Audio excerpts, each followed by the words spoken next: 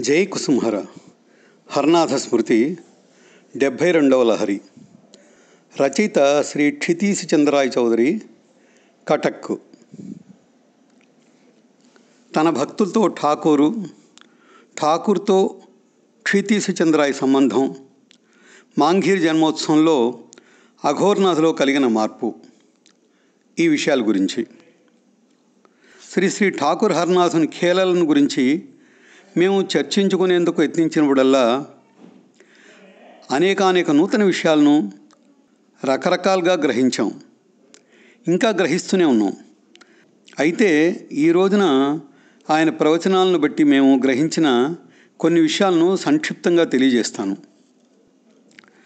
మా అమ్మగారికి కలిగిన నివారణ సాధ్యం కాని వ్యాధిని నివారించేందుకై మా ఇంటికి వచ్చిన శ్రీ శ్రీ ఠాకూర్ హర్నాథ్ తనకు తాను మాకు వ్యక్తపరుచుకున్నారు.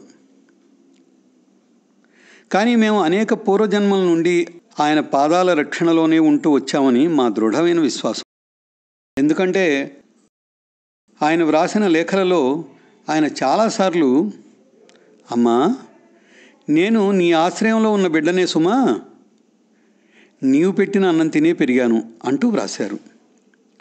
ఈ విషయాల్ని ఈ జీవితంలో అంతగా మాకు అర్థం కాకున్నా ఆయనే ఒక ప్రత్యేకమైన రీతిలో మాకు వివరించారు.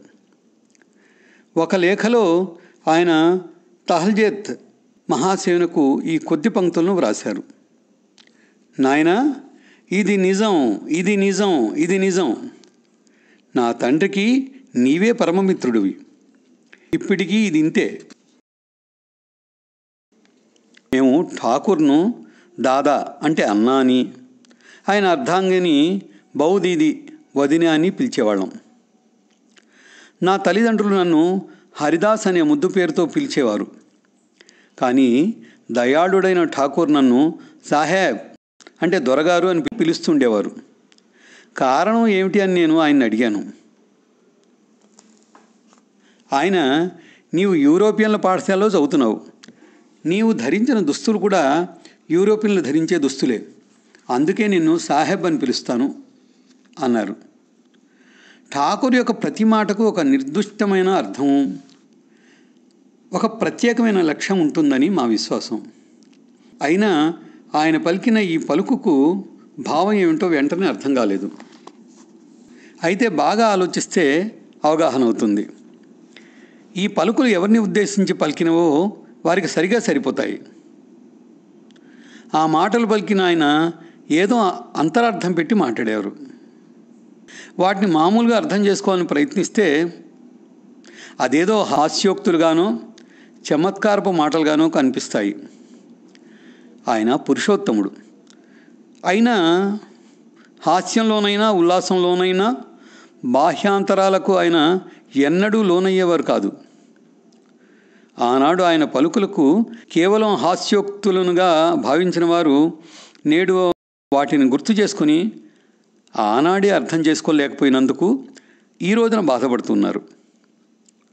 ఆయన పలుకుల నిజమైన భావాన్ని కొంతవరకైనా అవగాహన చేసుకున్నవారు శ్రీ శ్రీ ఠాకూర్ యొక్క భావాలను ఆ పలుకుల నుండి ఉత్తేజాన్ని ఉపదేశాన్ని సందేశాన్ని గ్రహించి కార్యరూపంలో పెట్టేందుకు శక్తి వంచన లేకుండా పాటుపడుతున్నారు.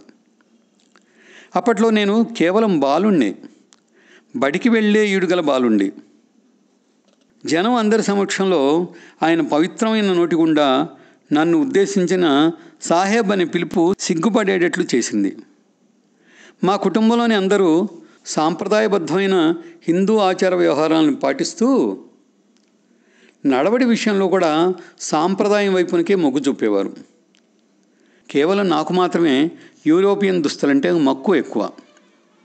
బడి నుండి ఇంటికి వచ్చిన నేను కాళ్ళు చేతులు కడుక్కోకుండానే కనీసం చిత్రమైన ఆ బట్టలను మార్చుకోకుండానే భోజనానికి కూర్చునేవాడిని. ఇక ఇటు నా చిలిపితనానికి అల్లరికి భయపడి నన్ను ఎవ్వరూ ఏమీ అనేవారు కాదు.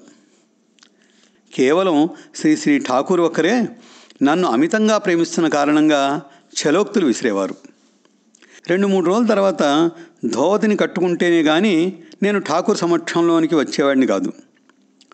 ధోవతిని కట్టుకొని నేను ఠాకూర్కు నమస్కరించబోయేసరికి ఆయన ఏమిటి సాహెబ్ ఖానా తినేయడం అయిందా?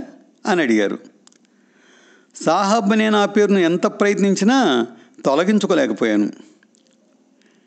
అయినా పెరిగి పెద్దవాడినవుతూ జరిగిన సంఘటనలను మననం చేసుకుంటున్న కొలది పరమ కృపామయుడైన ఠాకూరు కేవలం నాలో తెలివిడిని తెప్పించేందుకే నన్ను దారిలో పెట్టేందుకే అలా నన్ను సాహెబ్ అని పిలిచేవారని అవగాహన అయింది. దేవుడన్నా దేవతన్నా నాకు అంతగా విశ్వాసం లేక నేను పనికిమాలిని వాడినయ్యాను తల్లిదండ్రులకు పెద్దలకు అవిధేయుడనై వీలైనంత వరకు దోపిడీ కాని వలె ఉండేవాడిని. నా తల్లిదండ్రులు కుటుంబంలోని ఇతర సభ్యులు సాంప్రదాయబద్ధులై ఉండేవారు. అందువలన ఠాకూర్ ఒకరోజు నాతో పవిత్రమైన బ్రాహ్మణ కుటుంబ నియమాలను పాటిస్తూ నీవే మీ కుటుంబ ప్రతిష్టను ఎక్కువ చేయాలి అన్నారు. ఠాకూర్ యొక్క వ్యవహారాలన్నింటినీ ఇప్పుడిప్పుడే అర్థం చేసుకోగలుగుతున్నాను. పురుషోత్తముడైన ఠాకూరు ఇదే విధంగా చాలామంది భక్తులకు బోధిస్తూ ఉండేవారనే నా అభిప్రాయాన్ని బలపరిచే ఒక సంఘటనను తెలుపుతాను. మాంఘీర్ జన్మోత్సవ సందర్భంగా శ్రీయుక్త అఘోర్నాథ్ వంద్యోపాధ్యాయ మహాశయులకు బోధన చేసి ఆయనకు భగవంతుని ఏడ భక్తి విశ్వాసాలను అంకురింపజేశారు. ఆయన ప్రస్తుతం కటక్లోని డిస్ట్రిక్ట్ అండ్ సెషన్ జడ్జిగా ఉన్నారు. ఆ రోజుల్లో ఆయన మాంఘీర్లోని ప్లీడర్లందరిలోనూ అగ్రగామిగా ఉండడమే కాకుండా విశ్రాంతి ఎరుగని కృషి చేసి మాంఘీర్ జన్మోత్సవ విజయానికి కారకుల్లో ఒకరయ్యారు. ఆయన ఆ అఘోర్నాథ్ గారు చెప్పగా శ్రీ శ్రీ ఠాకూర్ యొక్క ఖేలలో ఒక నూతన సంఘటనను విన్నాను. జరిగిన సంఘటనను ఆయనే స్వయంగా సవివరంగా తెలియజేస్తే ఠాకూర్ యొక్క భక్తులు ప్రత్యేక ప్రయోజనాన్ని పొందగలరని నా విశ్వాసం. ఆయన చెప్పగా నాకు తెలిసింది ఏమిటంటే ఆయన మొదట్లో కరడుగట్టిన నాస్తికుడట. కానీ పరమదయాళుడైన ఠాకూర్ యొక్క నోటి వెంట వచ్చిన ఒకే ఒక సూక్తిని ఆయన అభిప్రాయాన్ని మత విషయకంగా జీవిత దృక్పథాన్ని మొదలంటా మార్చివేసిందిట. బాబా ఈ జన్మలో మీరు పొందిన ఈ అభివృద్ధి అంతా కూడా క్రిందటి జన్మలో మీరు చేసిన అత్యల్పమైన పుణ్యకార్యం యొక్క ఫలితమేనని గ్రహించండి. అలా అయినప్పుడు బాబా మీరు ఇప్పుడు ఈ జన్మలో భగవంతుని మర్చిపోవడం అంటే జ్ఞాపకం ఉంచుకోనకపోవడం సరైందా అంటారా? అని మాత్రమే ఆయనతో ఠాకూర్ అన్నారట. ఈ సంఘటన జరిగిన కొన్నాళ్ళకు గౌరవనీయులైన అఘోర్నాథ్ కటక్ జిల్లా జడ్జిగా నియమింపబడ్డారట. ప్రస్తుతం ఆయన కటక్ చీఫ్ జడ్జిగా పనిచేస్తున్నారు. కీర్తిని ఆర్జిస్తున్నారు. తల్లిదండ్రులను గౌరవించమని క్షితీష్ చంద్రకు సూక్తి. శ్రీ శ్రీ ఠాకూరు నన్ను కొన్నిసార్లు హరి అని కొన్నిమార్లు హొరే అని పిలుస్తూనే ఉండేవారు. మా అన్నగారు శ్రీ శ్రీ చంద్రాన్ చౌదరి గారు చాలా మెత్తని మనిషి. ఆధ్యాత్మిక భావాలు గలవారు. అమ్మా నాన్నలు ఆయనను ఖోఖా అని ఇంట్లోని మిగతా వాళ్ళు మను అని పిలిచేవాళ్ళు. శ్రీశ్రీ ఠాకూరు ఆయనను కొన్నిసార్లు శివ అని మరికొన్ని మార్లు శివు అని తాను పిలుస్తూ ఆయనను అలాగే పిలవమని మా అమ్మగారితో చెప్పేవారు.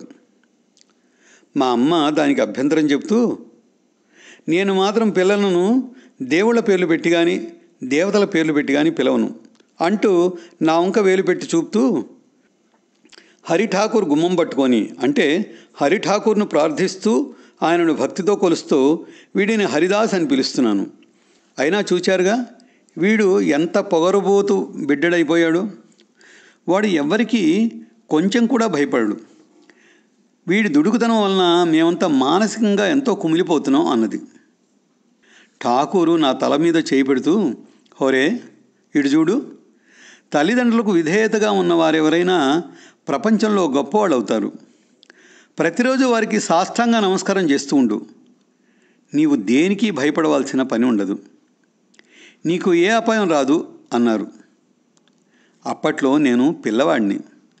ఆయన ఇచ్చిన మహోపదేశాన్ని పాటించలేదు. బహుశా బలవంతం మీద ఒకటి రెండు రోజులు అలా చేశానేమో. ఆ తర్వాత ఎప్పుడూ నేను తలవంచనే లేదు. మా అమ్మ నాన్న ఇరువురు మహనీయులే. పైగా చాలా ఉదారంగా ఉండేవారు. వాళ్ళు నన్ను ఎప్పుడూ క్షమిస్తూనే ఉండేవారు. కానీ అప్పుడప్పుడు మా అమ్మగారు నన్ను గురించే బాధపడుతూ ఠాకూర్కు వ్రాస్తూ ఉండేవారు. దానికి సమాధానంగా ఆయన నాకు ప్రబోధాలతో నిండిన ఉత్తరం పంపారు. అలాంటి ఉత్తరాల్లో ఒక దానిలో ప్రియమైన సోదరా అమ్మను నాన్నను ప్రత్యక్షంగా కనపడుతున్న దైవాలుగా భావించు. వాళ్ళ మనస్సులను బాధించేది కానీ నొప్పించేది కానీ ఏ పనిని చేయకు. నీ హృదయంతోనూ ఆత్మతోనూ కూడా వాళ్ళను భక్తి శ్రద్ధలతో గౌరవించు. అలా అయితేనే ఈ భూమి మీద పుట్టినందుకు నీవు పరమానందంగా ఉంటావు అని వ్రాశారు. నిజం చెప్పాలంటే ఆ ఆజ్ఞను శిరసాహించినందువల్లనే నేను ఇప్పుడు పరమానందంగా ఉన్నాను. ఈ రోజున ప్రతి విషయాన్ని నా మాతృదేవత శ్రీశ్రీ దాదా ఠాకూరు నా పితృపాదాల వద్ద విన్నవిస్తూనే జీవిత సమరాన్ని సాగిస్తూ ఆయన సందేశముల ప్రత్యక్ష భావాన్ని ఆ మాటలలో సత్యాన్ని అనుభవించగలుగుతున్నాను గ్రహించగలుగుతున్నాను. ఒకప్పుడు ఆయన నేనెప్పుడూ నీ దగ్గరలోనే ఉన్నాను ఎప్పుడు నీ వెన్నంటి ఉన్నాను నన్ను ఒక పిచ్చివానిగా గుర్తించుకో అన్నారు. పూజనీయురాలైన బౌదీది అంటే శ్రీ కుసుమకుమారిదేవి పవిత్ర పాదములకు వందల కోట్ల భూమిస్థ ప్రణామాలను అంటే సాష్టాంగ ప్రణామాలను సమర్పించి ఆమె యొక్క అనురాగపూరితమైన ఆశీర్వచనముల ఫలితంగా శ్రీ శ్రీ ఠాకూర్ యొక్క పాదాలనే మేము సర్వదా పట్టుకుని ఉందుముగాక జీవితంలో భయరహితంగా పురోగమింతుముగాక శ్రీ శ్రీ ఠాకూర్ ఇచ్చిన సందేశాల్లో ఏ ఒక్కదానినైనా ఆత్మశుద్ధిగా హృదయపూర్వకంగా ఆచరించడానికి జీవితాంతం ప్రయత్నించినా ఆచరిస్తానని ప్రతిన చేసిన వారు ఎవరైనా క్రమక్రమంగా అనంత శక్తిని ప్రయోజనాన్ని పొందగలరనేది నా దృఢమైన విశ్వాసం. నా అనుభవం కూడా అదే. తల్లిదండ్రులను దేవతలనుగా భావించి గౌరవించిన వారు ఎంతటి పరమానందాన్ని అనుభవించగలరో నేను స్వానుభవం ద్వారా గ్రహించగలిగాను. సాక్షాత్తు స్వానుభవం ఆధారంగానే ఈ విషయాన్ని వ్రాస్తున్నాను. ఠాకూర్ చెప్పిన సూక్తిని ఏ సూక్తిని కూడా ఇదే ఉందిలే మామూలుదేనని కానీ అంత ముఖ్యమైనది కాదని కానీ నిర్లక్ష్యం చేయకూడదు. తాను చెప్పిన ప్రతి సూక్తిలోనూ ఎంతో శక్తిని నిక్షిప్తం చేసియే ఆయన చెప్పడం జరిగింది. నేను చెప్పిన ఈ మాటల్లోని సత్యాసత్యాలను ఎవరైనా సరే తమ జీవితానికి అనుసంధానం చేసుకుని పరీక్షించవచ్చు.